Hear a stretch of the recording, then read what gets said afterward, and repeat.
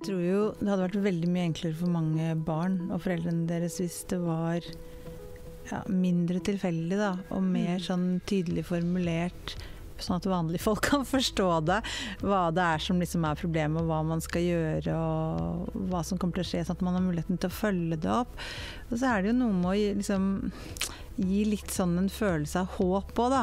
At uh, det går an å få et bra liv selv om man har denne eller andre lærevansker. Og mm. at man liksom ikke blir gående og tråkke gjennom hele skoletida i, i følelse av frustrasjon og, mm. og usikkerhet, da. Mm. Det tar jo også krefter som kunne gått til læring forskning viser jo at, at, man kan greie seg helt fint uh, i livet selv om man har uh, en dysleksidiagnose. Og, uh, og det fins mange tiltak både som har effekt, men også sånn, som jeg nevnte, sånn kompensatoriske tiltak. Men vi vet også at at det er en stor tilleggsbelastning å ha en lærevanske eller, eller dysleksi, og at for noen av de 50 000 som hvert år begynner i, i første klasse, så, så, går det noen måneder før de da starter å oppleve nederlag på nederlag. At eh, de strever veldig med, med noe som, andre, som de fleste andre bare mestrer veldig, veldig lett.